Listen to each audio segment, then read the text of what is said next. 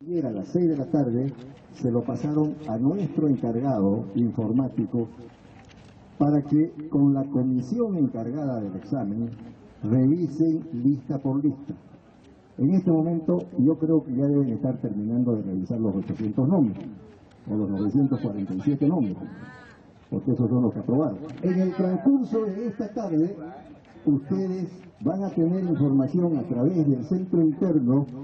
a través de esta coordinación para cuándo, para qué día, para, perdón, para